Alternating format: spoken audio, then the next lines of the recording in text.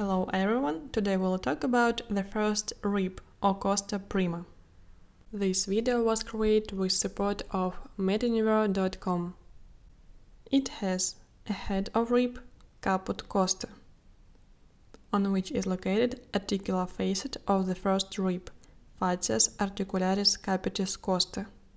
Here is neck of the rib, collum costa, tubercle of the rib, tuberculum costa on which is located articular facet of the tubercle, facies articularis tuberculi costa. It has the upper surface, facies superior, and the under surface, facies inferior. On the upper surface, we can see groove for subclavian artery, sulcus arteria subclavia, and groove for subclavian vein, sulcus vena subclavia.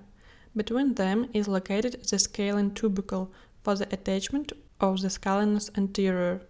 Tuberculum musculus scaleni anterioris. This video was created with support of meduniver.com.